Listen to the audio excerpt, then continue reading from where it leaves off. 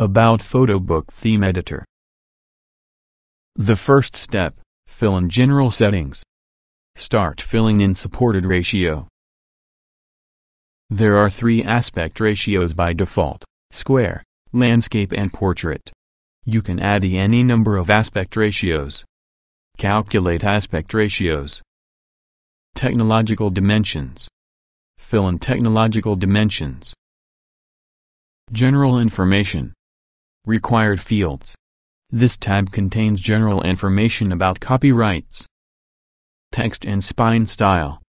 Set up text options which will be available for users. Set up options for a photo book spine which will be available for users. Blank export. Use this tab to upload blanks of background, calculated according technological dimension. Projects. Go to the tab Projects. Click the button plus to create a project, new theme. Enter the project name. Click the button Settings to configure setting of this project. Settings.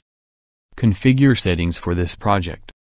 When you finish project configuration click the button Edit to go to the editor. Editor. The editor consists of, there is top bar with project title and parameters, there is main menu, there is toolbar, there is selection ratio aspects bar, there is work area, there is page elements bar. The next step, creation of guidelines note. The default units for guidelines are pixels. Copy the created guidelines and paste in all pages. Page elements. There is page elements bar. Add page elements for your theme, backgrounds, photo boxes, frames, clip arts, masks, crops, fonts. You can edit each element.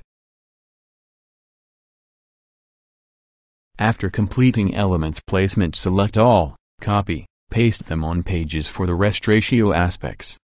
You should make some correction for each ratio size.